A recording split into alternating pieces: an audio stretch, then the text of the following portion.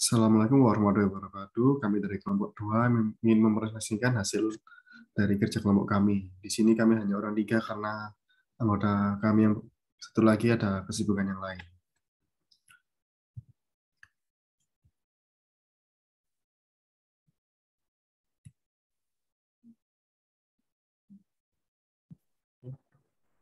Pertama adalah framework uh, React.js. Uh, pertama adalah bagian sejarahnya. React pertama kali diciptakan oleh Jordan Wolke, seorang engineer di Facebook. pertama kali diluncurkan pada newsfeed di Facebook pada tahun 2011 dan Instagram pada tahun 2012. Banyak aplikasi besar lainnya seperti Airbnb, Reddit, dan Netflix yang menggunakan React.js dalam struktur desainnya. Uh, selanjutnya Jordan Wolke merupakan Jordan Wolke uh, maaf belum selesai merupakan salah satu karyawan Facebook yang prototipe React.js yang rilis pertama kali yaitu Vax.js yang terinspirasi dari XHP. Facebook menyadari bahwa aplikasi web milik mereka semakin kompleks, ada banyak bagian yang harus terus-menerus diupdate, seperti pada bagian newsfeed, chatlist, chatbox, dan lainnya secara real-time. Untuk hal tersebut, sangat tidak mungkin untuk menggunakan jQuery yang masih tradisional karena memakan banyak biaya ke depannya. Maka dari itu eh, React.js ya melakukan virtual DOM yang memanipulasi DOM eh, dengan menggunakan virtual DOM yang menurut mereka lebih cepat. Oke, bisa dilanjut, Mas.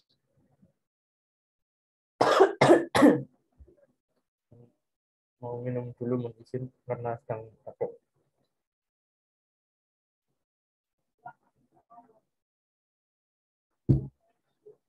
React.js adalah sebuah pustaka JavaScript atau library yang dibuat oleh Facebook. Eh, bukan merupakan framework MVC seperti kebanyakan aplikasi backend PHP.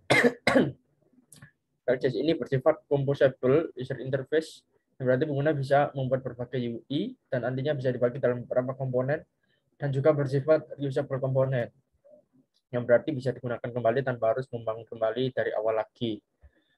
Uh, React.js juga bisa digunakan untuk membangun interface ya pengguna yang khusus untuk tampilan aplikasi dalam satu halaman yang menangani tampilan pada web dan aplikasi seluler. Next, Mas.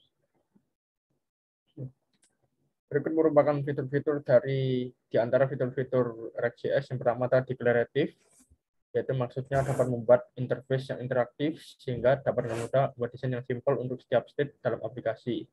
Selanjutnya komponen base, yaitu sini uh, merupakan komponen base yang menggunakan CSX ya, yang mana dia seperti tag tag HTML seperti itu. Uh, jadi mirip-mirip seperti tag HTML jika untuk sintaks dari React.js-nya. Lalu learn once, write anywhere. Uh, yaitu dapat mendevelop fitur baru menggunakan React tanpa mengubah sebelumnya. Karena uh, React.js ini juga terdapat aplikasi uh, library ya untuk mobile yaitu React Native yang mana dia bisa digunakan untuk diekspor di Android dan iOS uh, yang mana ditulis menggunakan bahasa JavaScript dan menggunakan library React. Bisa di next. Kelebihan itu pertama kemudahan dalam menulis komponen, rendering jauh lebih cepat, kode dijamin stabil, SEO friendly, lalu reusable komponen, dengan toolset yang memudahkan developer bisa digunakan dalam pengembangan aplikasi sudah dipelajari didukung komunitas besar dan digunakan banyak perusahaan besar dan startup. Next. Kurangan. Yang pertama adalah hanya view layer. Yaitu React.js hanya adalah hanyalah view layer. Kalau di MVC dia hanya view-nya. Eh, lalu dokumentasi tidak bagus yaitu dianggap React.js dokumentasinya tidak bagus dan kurang lengkap. Sehingga eh, para user ya harus mempelajari harus mengeksplor untuk eh, lebih mengetahui lebih dalam React.js ini. Lalu permasalahan lisensi dan terakhir adalah dukungan browser karena tidak mendukung browser versi lama. Jadi hanya mendukung untuk browser versi terbaru saja yang browser yang baru-baru ini Oke, bisa di next. merupakan contoh implementasi dari kelas komponen di React.js. Di sini terdapat uh, kelas clock, ya, dia mengekstrak komponen ini adalah sudah aturan yang baku dari React.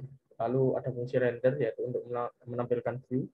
Di sini bisa dituliskan HTML biasa, namun juga bisa dimasukkan variabel contohnya yaitu dengan uh, di wrap ya di dibungkus dengan kurung awal seperti uh, seperti yang pada ada di tag H2 itu ya it is dia menampilkan variabel ya dari state dari local state state.date lalu dikonversi ke local string. Oke, okay, next. ini ada konstruktor. Untuk React di konstruktor ini biasanya untuk fungsi konstruktor sendiri dia uh, sesuai namanya dia akan dieksekusi ketika pertama kali di create ya, ketika class-nya di create pertama kali. Uh, ketika objeknya di create maksud saya. Uh, lalu uh, biasanya di React sini di bagian konstruktor biasanya dilakukan untuk menginisialisasikan local state. Di sini dapat untuk uh, statement di state. Nah, itu merupakan statement untuk melakukan deklarasi local state. Di situ ada date ya, yang diassign dengan new date, date object JavaScript. Nah, lalu untuk di fungsi render dia ditampilkan dengan hello world, lalu it is dia menampilkan variabel dari local state itu tadi, yaitu this.state.date, yang mana dia mengacu pada date yang diinisialisasikan di bagian konstruktor tadi. Lalu dikonversi ke to local time string itu merupakan fungsi prototype dari date object di JavaScript. Oke, next. Kesimpulan, ya. Secara garis besar, React.js memberi kemudahan bagi programmer, baik maupun profesional, karena dia ringan, cepat, serta mudah untuk digunakan.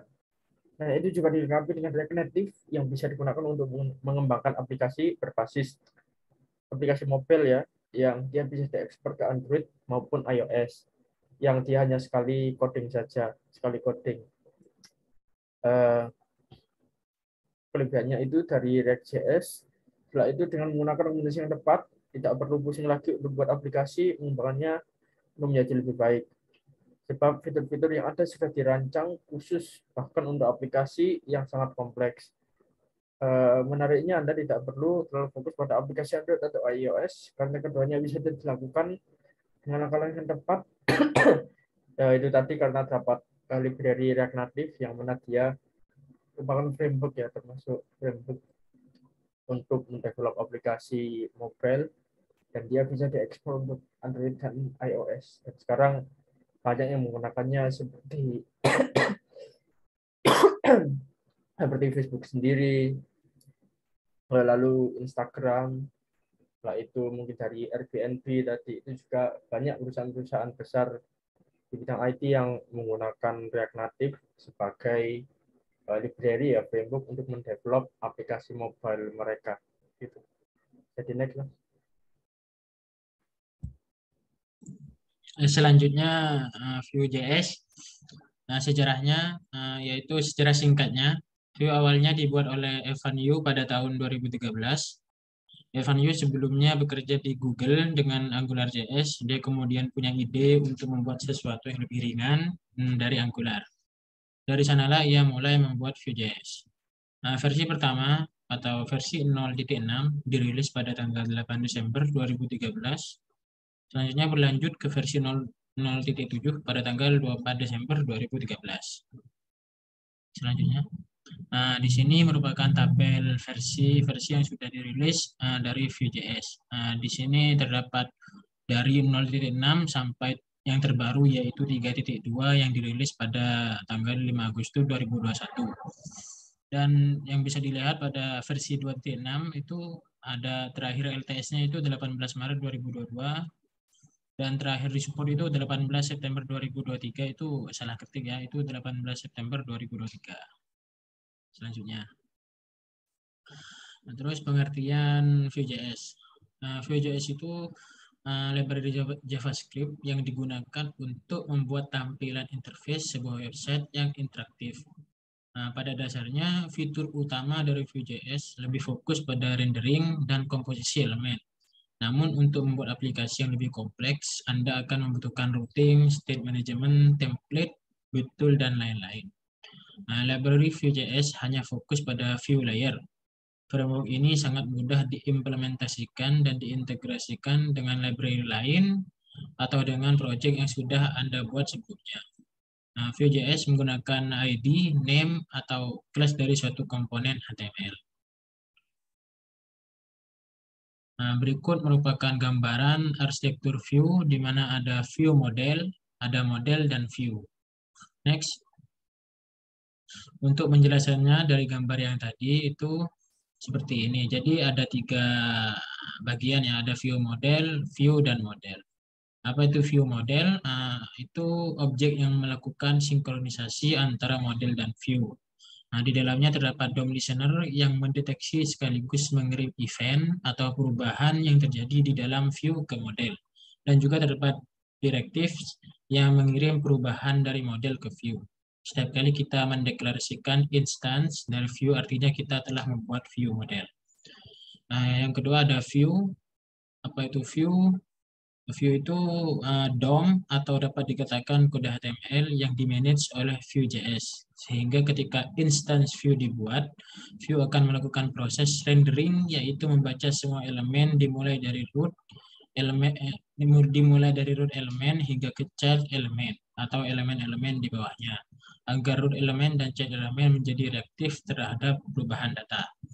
Dan yang terakhir ada model. Model dapat dikatakan sebagai objek JavaScript yang berisikan data. Data yang terdapat di dalam objek tersebut nantinya akan dapat dikirimkan ke view model dan juga dapat menerima data yang dikirimkan oleh view model jika terdapat event pada DOM. Selanjutnya, fitur-fitur uh, Vue.js. Yang pertama ada Computed Properties. Uh, fitur ini uh, fitur yang penting dari Vue.js. Fitur Computed Properties sangat membantu untuk melihat perubahan yang terjadi pada elemen user interface tanpa harus melakukan penambahan kode. Selanjutnya ada Event Handling atau VON adalah atribut yang ditambahkan ke elemen DOM untuk event Vue.js. Dengan bantuan event handling, Anda bisa membuat website menjadi lebih interaktif. Yang ketiga, components. Fitur components ini sangat penting dalam Vue.js karena dapat digunakan untuk membuat elemen custom pada HTML. Elemen custom ini juga dapat digunakan secara berulang-ulang. Selanjutnya. Nah, selanjutnya ada data binding. Uh, data binding pada Vue.js digunakan untuk memanipulasi dan memberikan values pada atribut HTML. Misalnya mengubah, mengubah style dengan bantuan binding direktif dari Vue.js yaitu vbind. Yang selanjutnya ada virtual DOM. Dokumen objek model atau DOM adalah interface yang memudahkan program untuk mengakses dan menambahkan konten dalam dokumen. Vue.js sendiri memiliki virtual DOM yang merupakan replika dari DOM. Fitur ini menyimpan perubahan dokumen di replika DOM sehingga Anda lebih dulu mereview perubahan sebelum menerapkannya di DOM. Fitur ini juga ada pada React.js dan Ember.js. Yang selanjutnya ada lightweight. Fitur ini membuat script dari Vue.js ini menjadi lebih sederhana, tetapi masih powerful dan sangat cepat. Next. Eh, ada routing. Fitur ini digunakan untuk penghubung antara halaman. Fitur ini menggunakan view router sebagai tambahannya. Fitur ini dapat membuat website single page application atau SPA hanya dengan menggunakan satu file HTML yang bisa memanggil semua halaman yang Anda punya. Selanjutnya ada watchers. Fitur watchers dapat diterapkan pada data yang telah berubah. Contoh bentuk elemen input, eh, contoh bentuk elemen input. Anda tidak perlu menambahkan event tambahan pada elemen input karena Watcher dapat menangani perubahan data apa pun yang membuat kode lebih sederhana dan cepat. Yang kesembilan ada directives. Vue.js memiliki perintah bawahan seperti vif, velse, vshow, von, vbind, dan vmodel yang digunakan untuk melakukan berbagai aksi pada front-end website. Dan yang terakhir ada templates. Vue.js memiliki template berbasis HTML yang menghubungkan DOM dengan data instance Vue.js. Vue.js mengkompilasi template menjadi fungsi DOM render virtual. kelebihan Vue.js. Nah, di sini terdapat ukurannya ringan. Yang pertama ada ukuran ukuran ukuran ringan. Selanjutnya dokumentasi lengkap, mudah diintegrasikan, mudah dipahami, bisa berinteraksi dua arah atau dengan VBind itu, terus fleksibel, banyak plugin, banyak tema yang menarik. Next. Nah, di sini slide kekurangan untuk Vue.js. Di sini ada dua, yaitu komunitasnya terbatas dan perubahan terlalu cepat. Nah, berikut contoh implementasi sederhana, nah, di mana di sini render secara deklaratif. Di mana pada HTML-nya kita uh, itu ada div dengan ID app, dan di dalamnya itu ada uh, pesan yang dibungkus dengan kurung kurawal. Nah, terus pada JS yang di tengah-tengah itu ada var app sama dengan new view. Ini merupakan instans instansiasi uh, uh, class view dan isinya itu ada L, di sini elemen diisi dengan ID-nya itu app, app yang ada HTML tadi, terus uh, ada data. Di sini akan dikirim. Jadi nanti tampilannya seperti yang di bawah, hi ini view. Nah, selain interpolasi teks, kita juga bisa langsung binding atribut pada elemen seperti di bawah ini. Nah, di sini uh, contoh penggunaan vbind. Jadi pada HTML itu ada ada span yang ada vbind-nya title sampai dengan pesan. Jadi di di JavaScript itu uh, diinstansiasi dulu view-nya terus uh, menambah datanya. Terus jika ini contoh hasilnya, jika uh, muse itu uh, jika muse uh, di hover di tulisan itu dan tunggu beberapa detik akan muncul seperti yang ada di screenshot itu. Selanjutnya kondisi. Nah, di sini uh, contoh implementasi kondisi menggunakan Vue.js. Jadi di sini menggunakan if pada HTML if sedang terlihat dan di JavaScript uh, datanya itu terlihat sebagai dengan true. Jadi uh, elemennya itu bisa show lah atau atau terlihat begitu. Next. Yang terakhir ada perulangan. Di sini contoh perulangan itu pada HTML itu menggunakan v4 to do into do's. Nah, dengan to do titik text itu mengakses intinya lah apa variabelnya. Jadi di uh, file JavaScript ada instansiasi view dulu, terus uh, eh, ID-nya, memasukkan ID-nya, terus datanya itu tudus, dan isinya ada tiga, yaitu belajar JavaScript, belajar view, membuat proyek keren. Nah, jadi hasilnya seperti yang ada di bawah. Terus kesimpulannya, dari Vue.js itu dengan struktur kode yang sederhana dan mudah dipahami, Vue.js adalah framework yang pantas jadi sangat populer dan paling sering digunakan. Apalagi Vue.js dapat membuat ukuran file kode yang yang kecil sehingga membuat load website lebih cepat. Untuk kekurangan dari Vue sendiri, sebenarnya kita dapat mengatasinya dengan turut andil dalam pengembangan Vue itu sendiri, atau membuat plugin, atau maupun membangun komunitas agar Vue dapat semakin mudah dipelajari dan digunakan.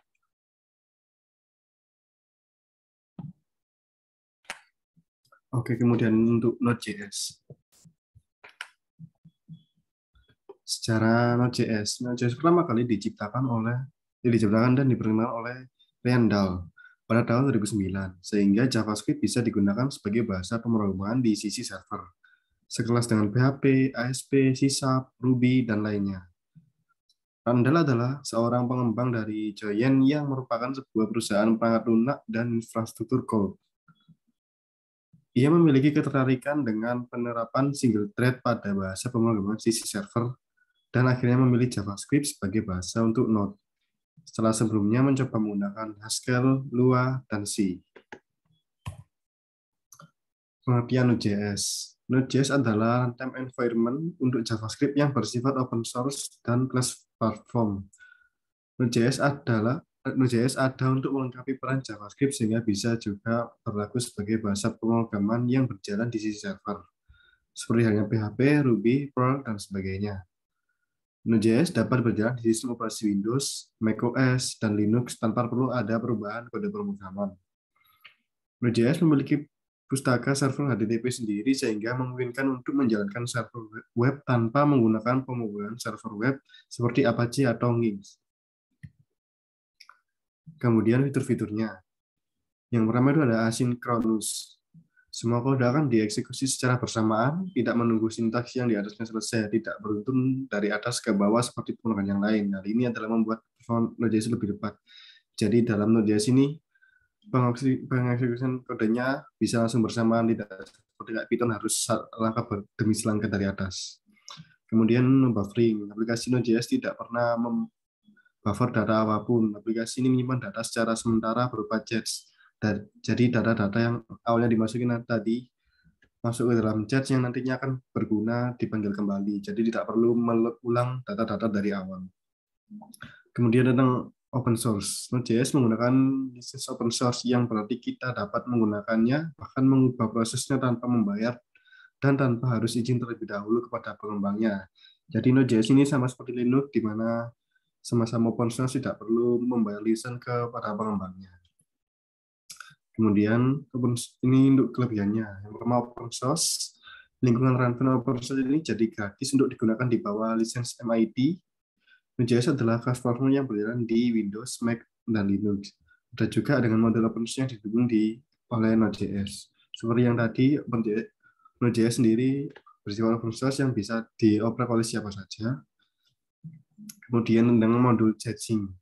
Modul caching pada Node.js ini dimasukkan ke dalam aplikasi itu pertama kali.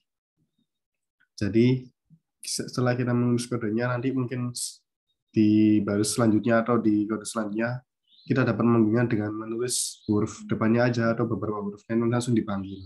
Itu dengan modul Jetsin. Kemudian JavaScript. Nah, jadi Node.js ini menggunakan bahasa dasar JavaScript yang berguna untuk front end dan back end. Kekurangannya, tidak cocok untuk tugas-tugas intensif CPU. Node.js juga tidak cocok untuk tugas-tugas CPU jika Anda melakukan dapat memperlambat aplikasi Anda. Jadi kan Node.js ini berjalan atau meran kodenya secara bersamaan. Jadi kalau CPU-nya kurang kuat atau speknya rendah, dapat menghambat aplikasi lain karena kan berjalan bersamaan tidak satu persatu. Kemudian kurang didukung ke database rasional lebih mendukung menggunakan database SQL dan MongoDB. Bila menggunakan yang lain memerlukan waktu ekstra. Mungkin yang dimaksud dari ini adalah Node.js hanya kayak mendukung dari SQL dan MongoDB. Mungkin dari database yang lainnya bisa cuma memerlukan waktu yang banyak untuk menggunakannya. Kemudian tidak efektif dengan aplikasi skala besar. Node.js cocok untuk aplikasi berskala kecil seperti chatting, streaming video. Jadi Node.js ini digunakan dalam pengkodean dalam aplikasi chatting seperti Facebook dan untuk video streaming mungkin digunakan di Netflix juga. Ini adalah contoh dari Circles, contoh emulasinya Node.js untuk run web sederhana, di mana menggunakan localhost 127.0.0.1 dan menggunakan port 3000. Nanti dalam localhost tersebut akan ngirim perintah hello world yang akan ditampilkan pada web server tersebut. Nah, Node.js juga menggunakan library Express.js di mana dapat dilihat pada scroll ini. Di sini juga akan menampilkan hello world cuma perbandingan dari yang tadi di sini lebih sederhana dan lebih apa ya? Lebih dipersingkat lagi daripada yang tadi. Untuk kesimpulannya, Node.js merupakan bahasa pemrograman backend yang sedang populer saat ini. Banyak dari perusahaan perangkat lunak besar menggunakan Node.js sebagai RESTful API dari sistem mereka. Seperti hanya framework, framework yang lain, Node.js, Node.js pun memiliki kelebihan dan kekurangan. Namun sejauh ini kelebihan Node.js adalah ringan dan cepat. Nah, untuk yang kedua, Node.js merupakan pilihan yang dapat dipertimbangkan jika kita hendak membuat aplikasi backend untuk aplikasi kita karena Node.js ringan, cepat, serta menggunakan bahasa JavaScript yang masih masuk ke turunan dari bahasa C yang fleksibel dan kaya akan fitur. Mungkin sampai di sini presentasi dari kami. Mohon maaf apabila ada salah kata. Assalamualaikum warahmatullahi wabarakatuh.